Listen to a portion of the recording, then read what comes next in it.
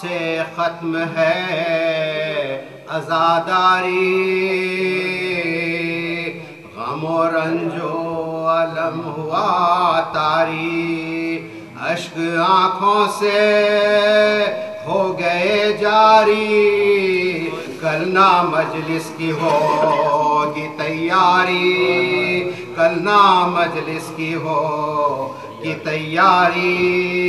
दिल से पैदा ये बहन होते हैं, हमसे रुखसत हुसैन होते हैं, हमसे रुखसत हुसैन होते हैं।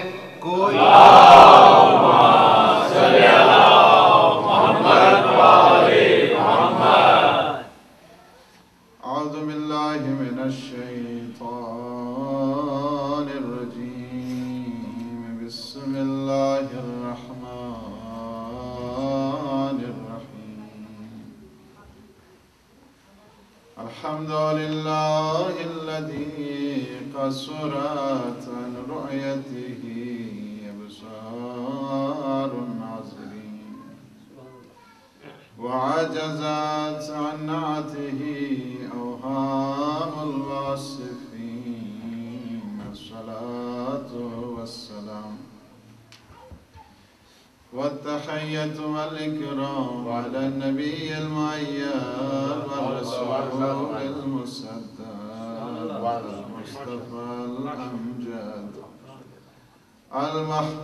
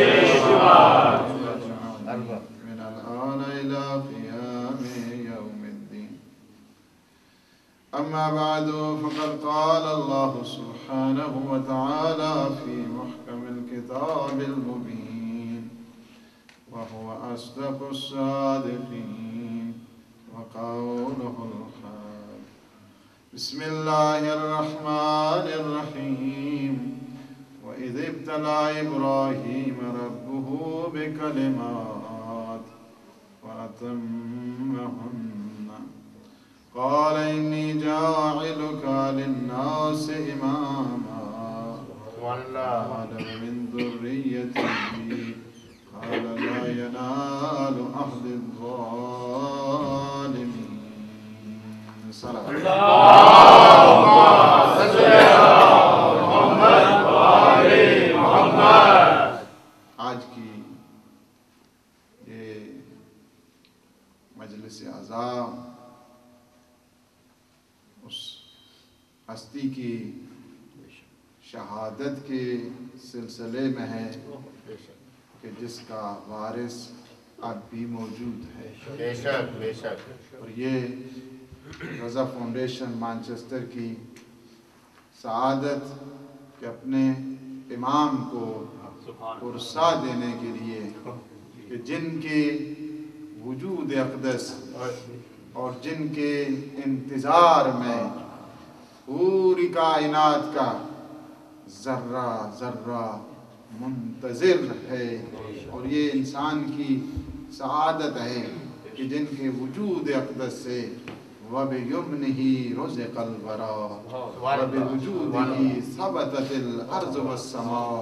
ऐ मेरे आका आपके वजूद अकदस के सदके में हम रिज्क हासिल कर रहे हैं हम रोजी हासिल कर रहे हैं। ये दुनिया कायम है खुदा के सदके में कायम है। इसी वजह से अल्लाह ने एक बहुत बड़ा मैसेज आलम इंसानियत के लिए दे दिया है। हज़रत इब्राहीम के पास नबूवत है। इसलिए इमामत का ताल्लुक अकायद इस्लामी के साथ है। यानी प्रिंसिपल ऑफ़ रिलीजन के साथ है क्रीड ऑफ़ रिलीजन के साथ है, यानी इमामत का ताल्लुक। इतना अजीम है कुरान के एतबार के साथ के फरमाया व इज़िब तला इब्राहीम बिकलिमातिन। हमने हज़रत इब्राहीम पर मुख्तलिफ़ किस्म के टेस्ट एंड ट्रायल किए, उसके बाद हमने कहा, इन्नी जाइलुका लिन्नास इमामा। हम आपको तमाम इंसानों का इमाम बना रहे हैं। इमाम जमाना नारे सलाम।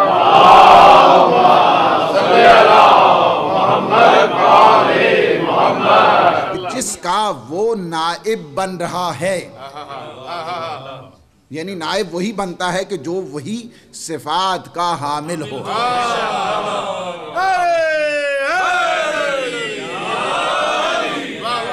अगर फ़र्ज़ किया है कि अगर कोई एक कॉलेज का प्रिंसिपल है तो अपने जगह पे ऐसे फर्द को नहीं लाता कि जो क्वालिफाइड नहीं हुआ करता है।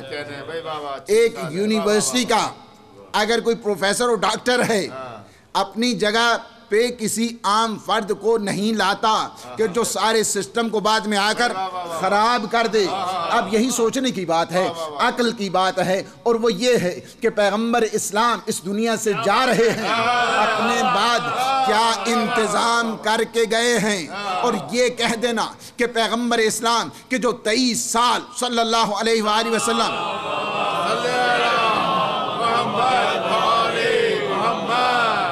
यानी जो तेईस साल मुसलसल इतनी जहमतें बर्दाश्त करने के बाद इतनी जहमतें अगर कोई एक शायर है वो दीवान लिखता है कहता है बाबा मेरे बाद प्रिंट करा देना। कहीं ये शायरी ज़ाया ना हो जाए। अगर किसी ने किताब लिखी है तो वो कहते हैं मेरे बाद इस तारीफ़ को छपवा देना कि ये एक सनद और एक दस्तावेज़ बनकर सामने और मेरी याद ताज़ा होती रहे और वो पैगंबर के जिसने अपनी सारी ज़िंदगी इस बकाए इस्लाम के लिए और सरबुलंदी दीन के लिए वक्फ कर दी। वो अपने बाद जा रहे हैं और इसी तरह जा रहे हैं और सबको सब उम्मत पे छोड़कर जा रहे हैं। इससे बढ़कर भी कोई इंसान यानी सबसे बड़ी तोहमत है जो ये कहा जाए कि पैगंबर ने अपने बाद किसी चीज़ का इंतज़ाम नहीं किया है।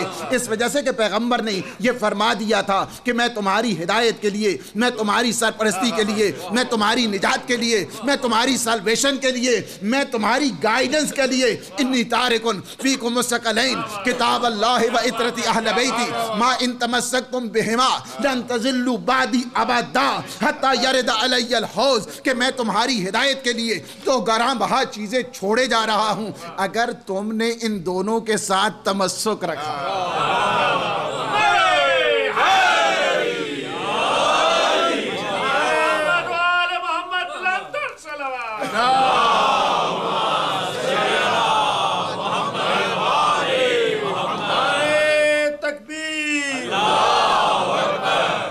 अगर आपने इन दोनों के साथ इन दोनों इस्लाम मुकम्मल होता है। बात कह रहा हूँ। इस्लाम मुकम्मल होता है कुरान के साथ साथ इतरत के साथ। अगर इतरत को दरमियान से निकाल दिया जाए तो इस्लाम कामिल नहीं नाकिस रह जाता है।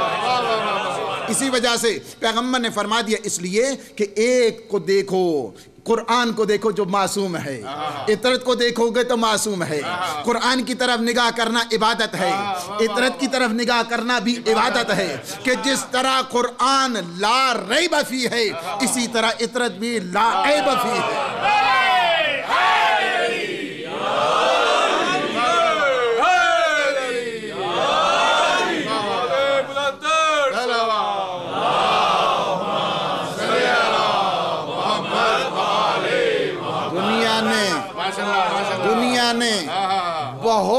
कोशिश की, बहुत कोशिश की कि जिस तरह कुरान को आज तक चौदह सदियाँ गुजरने के बाद, आज तक उसका चैलेंज मौजूद है कि अगर हमने, जो कुछ हमने अपने बंदे खास पे नाजिल किया है तो तुम ले आओ एक सूरा का जवाब। इसी तरह आज तक चैलेंज का जवाब, इसी तरह आज भी इतरत भी इसी, उसी चैलेंज के एतबार के साथ है कि तुम ले आओ अली का जवाब, तुम ले आओ हसन का जवाब, तुम ले आओ हुसैन का जवाब, तुम ले आओ उस नेमत का जवाब जो अब तक कायम है।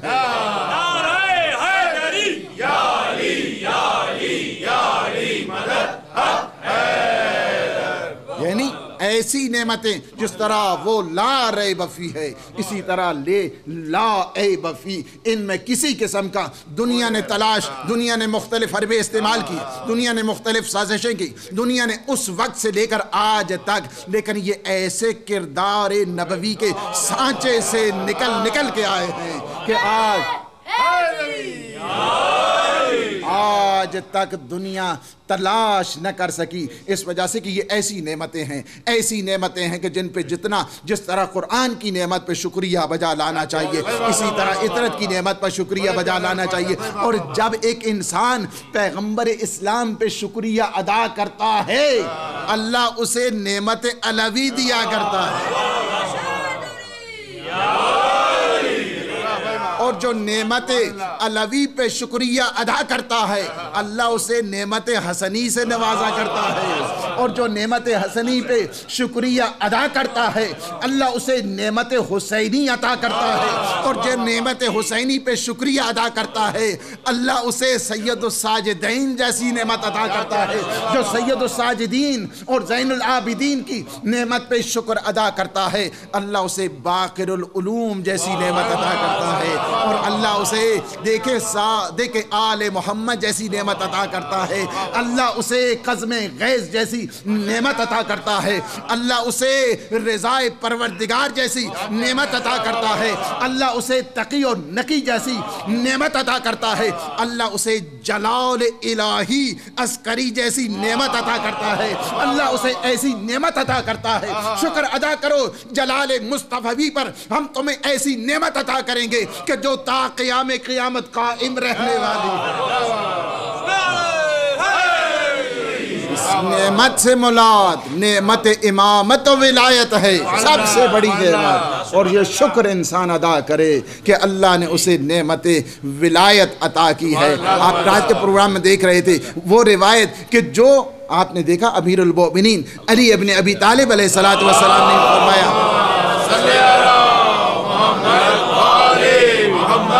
नहजुल बलागा के अंदर फरमाते हैं कि मैं अगर एक मुनाफिक को सातों अकालीम दे दूँ पूरी दुनिया the whole cosmos and universe उसे मैं दे दूँ और उसे मैं कहूँ तुम मुझसे मोहब्बत करो।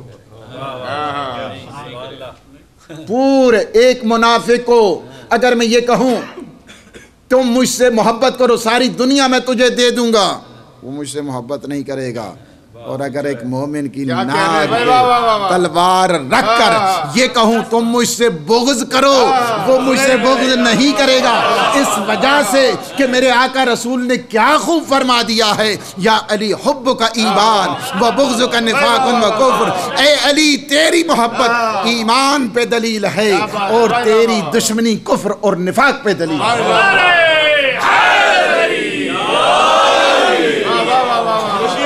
कायनात बुलंदर सलावा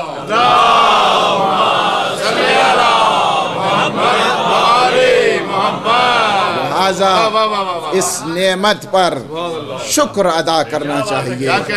शुक्र। खुदा अदा करना चाहिए इसलिए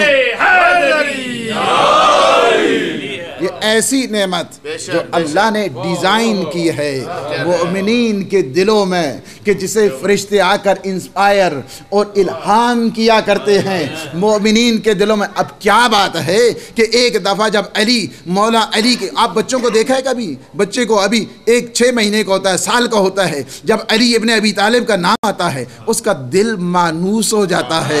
इस वजह से कि उस वक्त सहाबा की भी यही पहचान सहाबा भी यही किया करते थे कि जब देखना होता था कि ये कौन के किस नज़रिए का है फ़ौरन अली की तरफ़ रुख किया करते थे।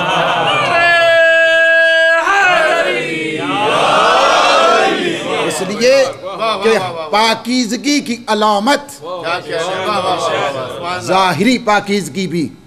बातनी पाकीजगी भी तरे अली से आया करती है इस वजह से ये फरमाया गया या अली अंत बाबुल्ला अंत सिरातुल मुस्तकीम अंत नबउल अजीम अंत इमामुल मुस्लिमीन ए अली तू बाब खुदा है ए अली ए अली तू बाब खुदा यानी क्या है खुदा तक अगर किसी को तौहीद शनासी चाहिए उसे अली शनासी का अली अली इंसान को खुदा की तरफ़ लेकर जाता है। वो अली वो है कि जिनकी मुनाजात में फरमाते हैं इलाही कफाली इज्जन अन तकून अली रब्बा व कफाबी फ़खरन अन अकूना लका अबदा। मेरे अल्लाह इस अली के लिए इतनी इज़्ज़त बहुत है कि तू मेरा रब है।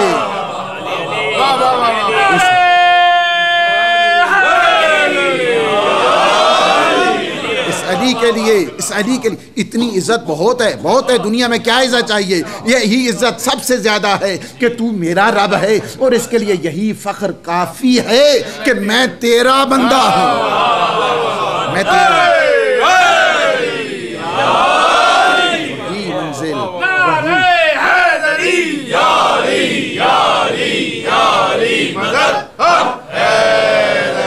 वही मंजिल हर इमाम में आपको नज़र आएगी। वही जलाल वही कमाल वही जलाल वही कमाल हर मासूम में आपको नज़र आएगा।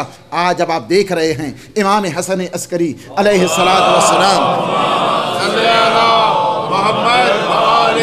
मोहम्मद जलाल मुस्तफ़वी कमाल मुस्तफ़वी का, जो मजहर है ग्यारहवें इमाम। इनकी शान इतनी ज़्यादा इतनी ज़्यादा इनकी शान कि अस्करी कहा जाता है। देखें, रोब जलाल का वो मंज़र, क्या वजह है अस्करी को? इमाम हसन अस्करी को क्यों कहते हैं? इस वजह से कि एक वो कि जहाँ पे रहते थे ना, जो उस मोहल्ले का नाम अस्कर था, इस वजह से इमाम को अस्करी कहते हैं। और इमाम हादी, दसवें इमाम, और इमाम में अस्करी ग्यारहवें इमाम दोनों को अस्करियन कहते हैं।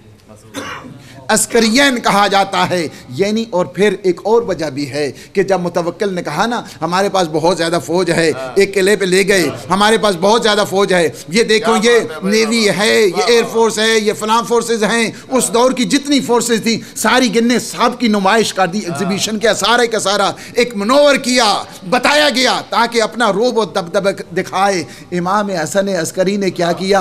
फरमाया उधर निगाह करो दाएँ तरफ़ बाएँ तरफ़ निगाह करो ज़मीन की तरफ़ निगाह करो आसमान की तरफ़ निगाह करो। जब देखा हर एक फौज हर एक मखलूक मेरे इमाम के हुक्म की ताबे है उस वक्त फरमाया तुम्हें पता नहीं हम तो हुक्म खुदा के पाबंद हुआ करते हैं। हम दुनिया वालों के पाबंद नहीं होते हैं कि दुनिया वाले ये कहें कि हमें आज़ार अजियत पहुंचाकर हमें दुख और मसायब पहुंचाकर हमें शदायत में मुबतला करके दुनिया वाले ये चाहते हैं डरा धमका के हम न झुकने वाले हैं न बिकने वाले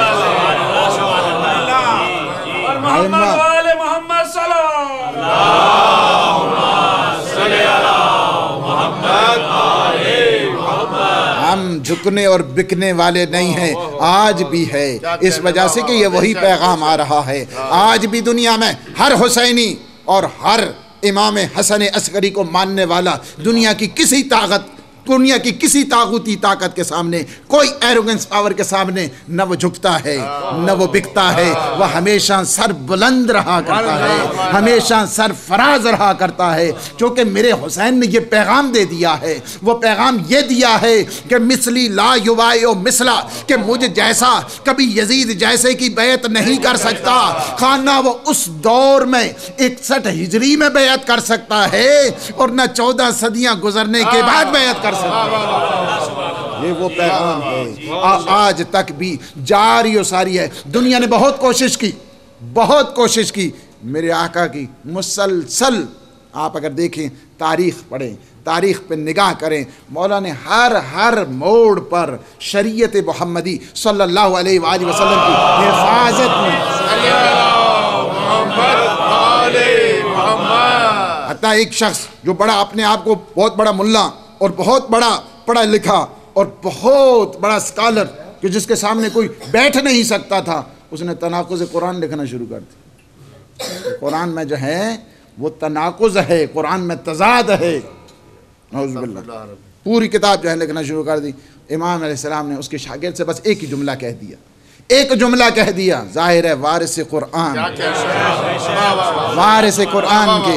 हर हर लफ्ज में एक मोजा नुमाया हुआ करता है। एक जुमला कह दिया है वो वो क्या था? जब देखा ना ये सारी अब्बासी सल्तनत थरथरा रही थी और कह रहे थे फर्जंद रसूल इसलिए कि तख्त ताज को बचाना आसान है दीन को बचाना मुश्किल है। इस वजह से उन्हें मैं ये नहीं कहता हूँ कि उन्हें अपने जो है वो बड़ा दीन के साथ डर था अब्बासियों को। नहीं उन्हें दीन के साथ कुछ नहीं थी। अपनी फ़िक्र थी तख्त व ताज की कि कहीं ये अवाम बिगड़ जाए तो कहीं तख्त व ताज चला ना जाए। इमाम के पास कहा फर्जंद रसूल कुछ कीजिए। इस वजह से कि हर मुश्किल की मुश्किल कुशा यही घराना हुआ करता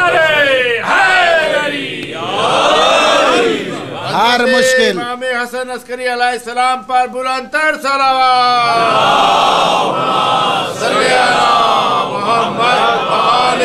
मोहम्मद हर मुश्किल में कहते हैं कि इमाम ने बस एक जुमला कहा उसकी शागिर्द कहा कि अपने ज़रा उस्ताद से पूछना एक ही कि ये तनाकुज़ कुरान जो बना रहे हो क्या ये तुम्हारी अपनी तरफ़ से है? अगर तुम्हारी अपनी तरफ़ से है तो खुदा के साथ क्या रब्त है? अगर खुदा की तरफ़ से है तो जबरील तुम पे कब नाजिल हुआ? भाई वाह वाह वाह वाह। हाँ, हाँ, हाँ। जिब्रील अगर तुम्हारी अपनी तरफ़ से है। तो फिर खुदा के साथ इसका क्या रब्त है?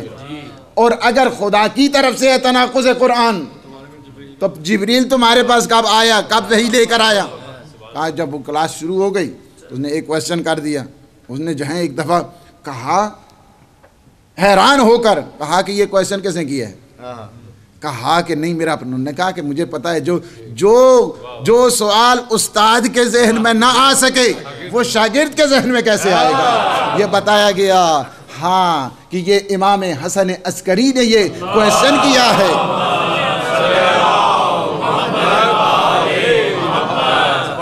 कि दरे मुस्तफ़ा से इसी किस्म की गिरा गुशाई हुआ करती है। फ़ौरन जितनी वो लिखी थी सबको आग लगा दी। मौला ने एक जुमले में और वही थी अगर आप करामात को देखना चाहें बेशुमार करामात। हमारी किताब खुद सीरत है इमाम हसन अस्करी एक मुफसल जो है वो डिस्कशन मौजूद है मार्केट में उसमें देखें कि किस हद तक इमाम अलैहिस्सलाम की करामात रावियान अहदीस उनको जब एक इंसान देखते इतनी करामात इतने मोजात इमाम अलैहिस्सलाम के हती कि जब जिंदान में मुख्तलिफ़ चाह आज़ार अजियत के साथ एक दफ़ा शेर को ताकि शेर हमला करेगा। इन्हें नहीं पता है कि ये सारी इंसान अगर बदबख्त हो जाए तो हो जाए ये हैवान भी दर मुस्तफ़ा का एहतराम करते हैं। एक दफ़ा जब उस बंद कमरा है, ऊपर से एक विंडो रखी गई कि जिससे ताकि देखें कि किस तरह वो शेर आता है, चीरता है फाटता है। देखा ऊपर विंडो से देखा, इमाम सलाम जो जाते हैं, शेर के पहलू में अपनी जाए नमाज़ को बिछाकर दो रकत नमाज़ अदा करते हैं और शेर वहीं पे बैठकर कदम बोसी करता है। उसके बाद ये रिहाई जब कहते हैं कि ये फर्जंद रसूल आपने देखा कि यही चीज़ है हत्ता कि इमाम मूसा काजिम सलाम के दौर में भी।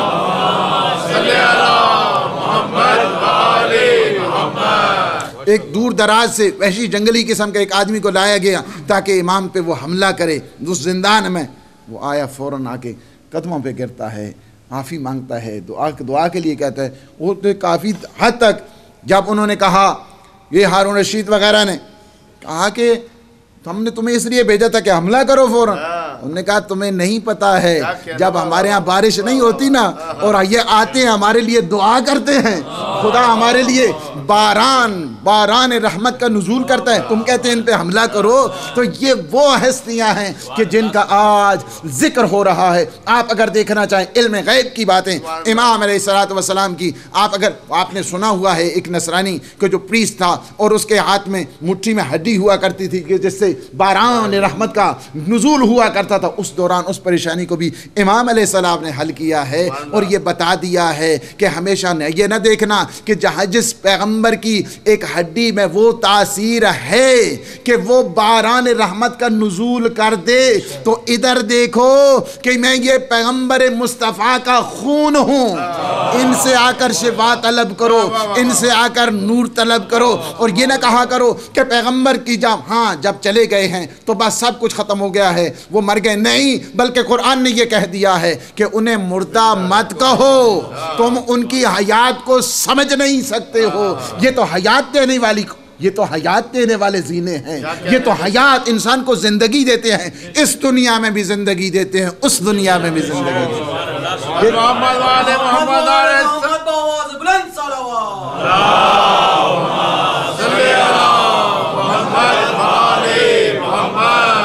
एक शख्स। को आवाज़ बुलंद से बुलंद तर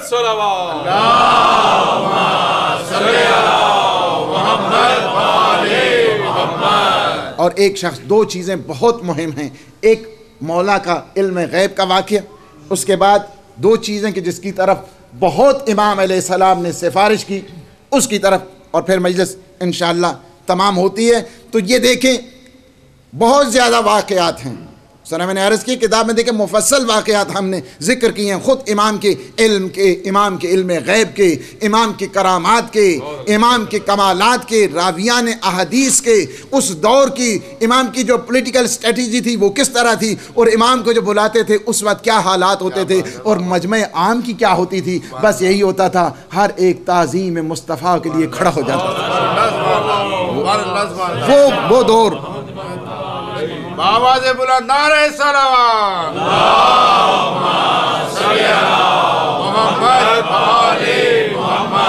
एक एक शख्स ने एक शख्स ने लिखा खत इमाम को इमाम कैद खाने में है अभी। कहा शर्म के मारे एक चीज़ जिसकी दरख्वास्त करना चाहते थे उसमें नहीं लिखी अपने फ़क्र फाका की कि मैं बहुत तंग दस्त हूँ पावर्टी की बात नहीं लिखी। वह एक तो क्वेश्चन ये किया कायम का जहूर कब होगा? फरमाया ये तो अल्लाह सुबहान व तआला उसकी मर्ज़ी के ऊपर है लेकिन जिस बात का तुमने शर्म की वजह से ज़िक्र नहीं किया ना इस वजह से ये बच्चा याद रखे हमेशा याद रखे कि अगर हमें नहीं हमारी हर रोज़ की रिपोर्ट जिस तरह रिवायात में है हमारी हर रोज़ की रिपोर्ट इमाम ज़माना के पास पेश की जाती है और इसी वजह से सिवे से ये भी रिवायात में है कि हर शब जुमा शब जुमा है। हर शब जुमा हर मोमिन की रिपोर्ट उसने क्या किया है हफ़्ते में? इमाम के पास पहुँचती है और इमाम अपने शियों अपने मानने वालों के अमाल को देखकर जिन्होंने अच्छे किए खुश होते हैं और जिन्होंने अच्छे अमाल नहीं किए हैं उन पे इमाम रोया करते हैं। लिहाजा फर्जंद जहरा को खुश करने की ज़रूरत है। इस वक्त देखिए कि यह आलम पूरा आलम इस वक्त आलम इसतराब की सूरत इख्तियार कर चुका है। इस वक्त हमें ज़्यादा से ज़्यादा वो पीस एंड प्रोस्पेरिटी और सोशल जस्टिस की तरफ़ हमें आगे बढ़ने की ज़रूरत है। और इमाम अलैहिस्सलाम ने फरमाया कि तुमने जो शर्म की वजह से नहीं लिखा है ना मैं इन अपनी मंजिल पे पहुँच कर मैं तेरी तरफ़ रवाना कर दूँगा। और दूसरा ये है कि एक शख्स आता है आकर बैठता है इमाम के मतलब सवाल करता है दूसरा सवाल भूल जाता है। इमाम ने फरमाया कि जो तो पहला सवाल किया ना जहूर का ये तो अल्लाह जानता है। अल्लाह जब चाहेगा मेरे बेटे का जहूर करेगा। ये दुनिया आलम ये पूरा आलम जिस तरह जुल्म और बरवरीत से भरा होगा इसी तरह अदल और अदालत से भरा होगा। जिस तरह इस वक्त दुनिया पीस एंड प्रोस्पेरिटी और जस्टिस की बात करती है दुनिया अदालत की बात करती है अदालत महदी बरहक की बात करती है।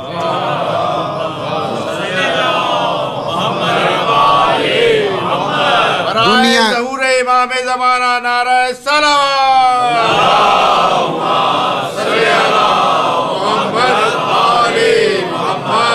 दुनिया को अदालत की ज़रूरत है। अदालत को बारे में ताजदार की ज़रूरत है। ओ इस तरह। कहा कि दूसरी बात जो तुम भूल गए हो। जो पहली बात वो तो अल्लाह के ऊपर है। दूसरी बात हम तुम्हें बताए देते हैं जो तुम भूल गए हो वो ये है तुमने हमेशा मरीज़ के मुतलक तेरे जहन में था कि कोई नुस्खा बता दें कोई प्रिस्क्राइब कर दें। वो नुस्खा क्या है कि जब किसी को तप हो जाए बीमार हो जाए हाई फेवर हो जाए तो हम इसका क्या करना चाहिए? और मैं इस तरह करूँ आयत लिखो या ना रुकूनी बर्तन व सलाम अला इब्राहिम। गले में लटका दो इन वो तब ख़त्म हो जाएगा। और यहाँ तक है कि आप हर हर करामत को अगर देखना चाहते हैं कि मुफसल डिस्कशन है हर एक इमाम की लेकिन चूँकि वक्त के दामन में वो इतनी गुंजाइश मेरे पास भी नहीं है चूँकि इसके बाद मुझे प्रोग्राम करना है तो ये है कि देखिए इस बात की तरफ़ कि ये वो घराना है और दो चीज़ों की तरफ़। एक क्या कि जब कहते हैं अहमद इबन इसहाक अहमद इबन इसहाक कहता है कि मैं जब इमाम सलाम के पास एक दफ़ा वो जेल खाने में मिलने के लिए गया कि बहुत ज़्यादा परेशान हुआ कि इमाम का वो कैद खाना वो जिंदान कि जिसमें ना इंसान सही तरीके से बैठ सकता है ना सही तरीके से उठ सकता है। न सही तरीके से लेट सकता है। वो जिंदान और उस दौरान इमाम अलैहिस्सलाम ने सारी किताब तहारत से लेकर किताब हदूद वदियात तक सारी की सारी फ़िक मुरतब करने के बाद एक चीज़ इमाम सलाम ने यहाँ पे बता दी। और वो क्या है? ये सारे आयमा से, इमाम जाफ़र सदक सलाम से भी ये रिवायत और जिसकी इमाम सलाम ने बिस्तर शहादत पर मुसलसल ताकीद फरमाई, एक है नज़रिए इमामत और वो भी नज़रिए गैबत पर, कि जैसे अहमद इबन इसहाक की रिवायत, कि जब इमाम सलाम से पूछा गया यबना रसूल अल्लाह आपके बाद आपका वसी कौन होगा?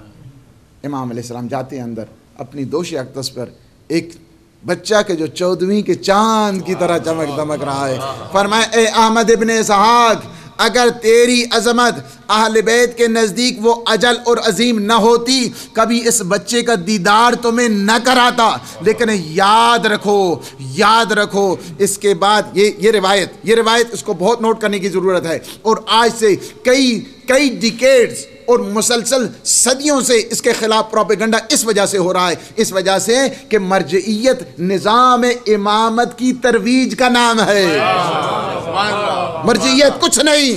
मर्जियत निज़ाम निज़ाम इमामत की तबलीग और तरवीज का नाम है। तो लिहाजा असल में वो मुखालिफ निज़ाम इमामत के हैं। मर्जियत को उन्होंने एक रुख बनाया हुआ है। इस वजह से और ये बताने के लिए है, वो क्या चीज़ क्या चीज़ मेरे मौला ने क्या फरमाया? वो क्या फरमाया? फरमाया, देखो देखो फ़म्मा मनकाना ये बारहवीं आका की भी रिवायत है, ग्यारहवीं आका की भी रिवायत है, छठे आका की भी रिवायत है। क्या रिवायत है? फ़म्मा मनकान साइन नफ्स ही हाफिज़न दीन ही मुखालिफ़न हवा हो मुती अमर मौला हो फ़लिल अवाम युकलदू हो देखना निज़ाम मर्जियत को।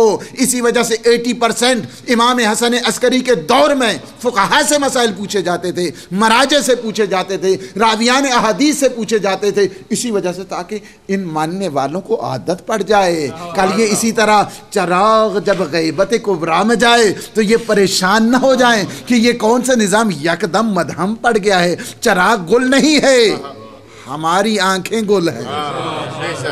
वजह से कि अगर इंसान में हिम्मत हो, इंसान में शौक हो, अब भी वो दीदार कर सकता है। अब भी है उसमें। हिम्मत की ज़रूरत है वो शौक की ज़रूरत है वो रगबत की ज़रूरत है उस विसाल की ज़रूरत है उस मारिफत और इश्क की ज़रूरत है। इश्क के बाद इंसान उस मंजिल तक के दीदार जमाल मुस्तफ़ी कर पाए। तो यहाँ तक ये है कि देखो दो चीज़ों की तरफ़ बहुत एक ये है कि हमेशा अपनी जब भी दुआएँ करना दुआओं का तरीका बताएगा। अपने इमाम ज़माना का वास्ता देना तुम्हारी जल्दी दुआएँ कबूल हो जाएँगी हाजतें कबूल हो जाएँगी। और दूसरी चीज़ है निज़ाम मरजियत की तरफ़ कि उसकी तरफ़ अम्मा मन खाना मिनल फ़ुकहा मेरे उन फ़ुकहा की तरफ़ देखना जी जो अपने नफ्स पे कंट्रोल करने वाले हाफिजन दीन ही दीन मुस्तफ़ा की हिफाजत करने वाले हों मुखालिफन हवा हो अपनी ख्वाहिशात नफसानी के दुश्मन हों मुती अमर मौला हो अपने मौला के हर हुक्म पर अमल और उसके ओबीडियंस और उसकी इतात करने वाले हों। फलिल अवाम यकल्लू हो तो अवाम को चाहिए कि उनकी तकलीद करें। अवाम को चाहिए कि उनकी पैरवी करें। और मेरे बारहवीं आका फरमाते हैं अर्राद अलैहिम कर्राद अल्लाह कर्राद अलैहिम कर्राद अलैना वर्राद अलैना कर्राद अल्लाह जिसने उन्हें ठुकरा दिया उसने हमें रद्द किया और जिसने हमें ठुकराया उसने अल्लाह के हुक्म को पामाल किया है। व अमल हवादसुल वाक़या फ़र्ज़ फ़ीहा इला रवात अहदीसना कि जब मुश्किल नए नए मसाइल आ जाएँ हमारे मुश्तहिदीन की तरफ़ रुजू करना हमारे फ़ुकहा की तरफ़ रुजू करना इनकी मिसाल ऐसे है कि शम से इमामत अभी गैबत में है निज़ाम मरजइयत अभी तुलू कर चुका है। यानी कमरे कमर मरजियत, उसको जिस तरह कमर की बजाते खुद कोई वैल्यू नहीं होती उसकी रोशनी की। जब तक शम्स, जो ही शम्स इमामत का तुलू होगा, इसी तरह जो निज़ाम है, कमर मरजियत का गुरूब हो जाएगा। ये है, और इस तरफ़ हमें मुतवजह ये नहीं है, ये प्रोपिगंडा है, आलम तशैयों के ख़िलाफ़, कि खाम खानों ने बना लिया है। नहीं, निज़ाम तकलीद मासूमीन की तरफ़ से है। निज़ाम तकलीद मेरे आका बारहवीं आका की तरफ़ से है। जो निज़ाम तकलीद का मुखालिफ है वो निज़ाम इमामत का मुखालिफ है। इस वजह से इसकी इतनी ताकीद की गई। इमाम सलाम बिस्तर शहादत पर भी है लेकिन इसके बावजूद इन दो जो निज़ाम हैं उस पर इतनी तरवीज हो रही है। और जहाँ तक हती कि जब इमाम ने मुख्तलिफ़ जो तागूत हैं, तीन बड़े तागूत, उनके दौर में इमाम ने ज़िंदगी गुजारी है। आप अगर देखें मोतदी बिल्ला को देखें, महदी बिल्ला को देखें, और मोतज़द बिल्ला को देखें कि ये आखिरी इमाम सलाम की करामात शर्कता गर्ब फैल रही थी और हर एक दर विलायत पे झुक रहा था दर विस्मत पे झुक रहा था दर मुस्तफ़ा पे झुक रहा था। उसने बर्दाश्त नहीं किया और उसी वजह यह हुई कि मोतज़द बिल्ला ने इमाम सलाम को यकम रबी अव्वल जहर दिलवाई। यकम रबी अव्वल जहर दिलवाई गई। लेकिन ये जो सात दिन थे ना आठवें दिन आप आप देख रहे हैं आज शब शब शहादत है। शब शहादत किसे आज हमने पुरसा देना है? अपने ज़माने के इमाम को पुरसा देना है। कि जिनका बाकी जितने सारे के सारे वारिस मौजूद नहीं है। लेकिन आज जिसका गम मना रहे हैं, उनका वारिस मौजूद है। कि जो हमेशा ये कहते हैं, मेरे जद अमजद, कि उनके रोने का क्या आलम है? हमेशा खुश करे ना इमाम को। इमाम हमेशा कहते हैं कि रोते हैं किस बार? कभी तो रोते हैं। ए, मेरे जद मजलूम, ये दिन भी आप पर रोता है, ये रात भी आप पर रोती है। हक मोहम्मद वाल मोहम्मद, हमारी इस इबादत को वार से गम इमाम ज़माना के हुजूर कबूल फरमा खुदा हक मोहम्मद वाल मोहम्मद हमारे जितने मोमिन मोमिनत तशरीफ़ फरमा हैं आजात रखते हैं बाबुल हवाइज के सदक़े इन तमाम की हवाइज शरिया को पूरा फरमा।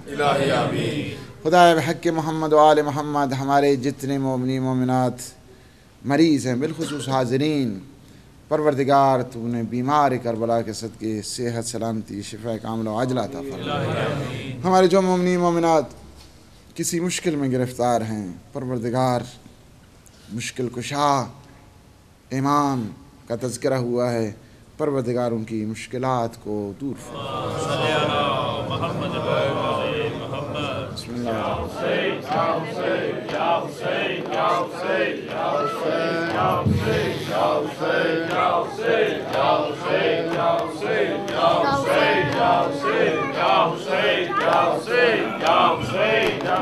नौहरे हान सरे फर्शे अजा नौहरे हान ये आमिर ने सरे फर्शे अजा जब पढ़ा सात मुहर्रम को कयामत थी बपा, करते थे अहले अजा मातम गिरिया कासिम कल में शबीर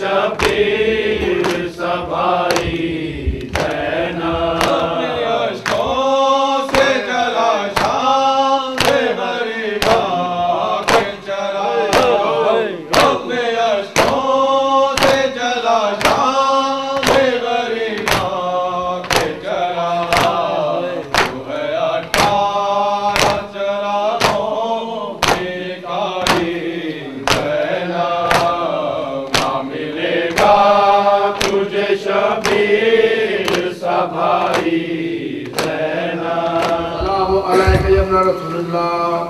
अस्सलामु रहमतुल्लाहि व बरकातुहू अस्सलामु अलैकुम या औलिया अल्लाह व अहिब्बाहु। अस्सलामु अलैकुम या अस्फिया अल्लाह व अब्दाहु। अस्सलामु अलैकुम या अंसार दीनिल्लाह। अस्सलामु अलैकुम या अंसार रसूलिल्लाह। अस्सलामु अलैकुम या अंसार अमीरुल मोमिनीन। अस्सलामु अलैकुम या अंसार फातिमा ज़हरा सय्यदत निसाइल आलमीन अस्सलामु अलैकुम या अंसार अबी मोहम्मद बिन हसन इब्न अली ज़की नासिह अमीन अस्सलामु अलैकुम या अंसार अबी अब्दुल्लाह बे आबी अंतुम व उम्मी तिबतुम व ताबतिल अर्ज़ु लती व फीहा दुफिनतुम व फुज़तुम फौज़न अज़ीमा फया लैतनी कुन्तु मअकुम फअफूज़ मअकुम अस्सलामु अलैकुम व रहमतुल्लाहि व बरकातुहू अस्सलामु अलैका या गरीबल गुरबा अस्सलामु अलैका या मुइनल दुफाए वल फुकरा अस्सलामु अलैका या मुगीस शियत व दुबार फ़ी यौमिल जज़ा अस्सलामु अलैका या शम्स शमूस अस्सलामु अलैका या अनीसन नुफूस अस्सलामु अलैका अय्युहल मदफून बे अर्ज़ तूस अस्सलामु अलैका या अली इब्न मूसा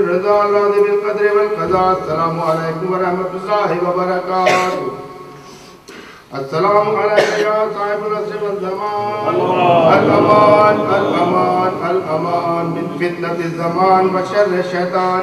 अस्सलाम अलैका या खलीफतुर रहमान। अस्सलाम अलैका या इमाम अल इंस वल जान। अस्सलाम अलैका या मज़हर अल ईमान अस्सलाम अलैका या शरीक अल कुरआन अस्सलाम अलैका या अली इब्न अस्सलाम अलैकुम व रहमतुल्लाहि व बरकातुहू नारे हैदरी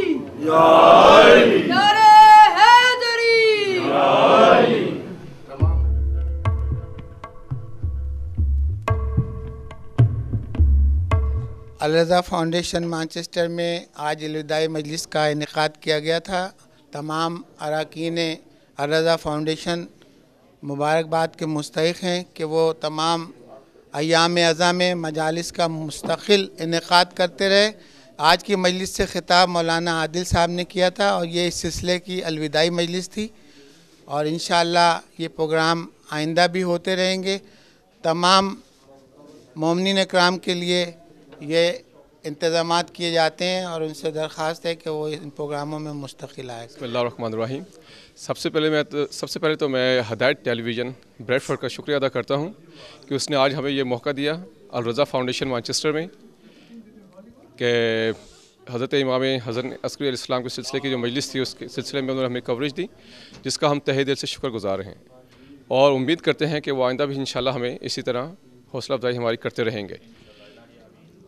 तो आज ये अशरा मुहर्रम की आखिरी मजलिस थी, जो कि अलरज़ा फाउंडेशन मानचेस्टर से हदायत टेलीविज़न ने डायरेक्ट जो है उसे प्ले किया है, जिसका हम बहुत शुक्रिया शुक्रगुजार हैं।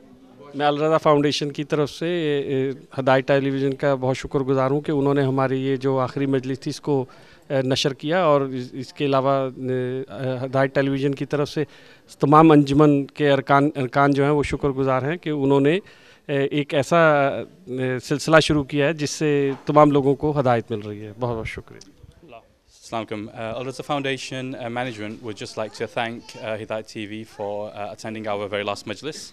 And uh, hopefully, inshallah, we will be able to um, broadcast uh, more programs from Al Foundation and uh, keep on watching Hidayah TV.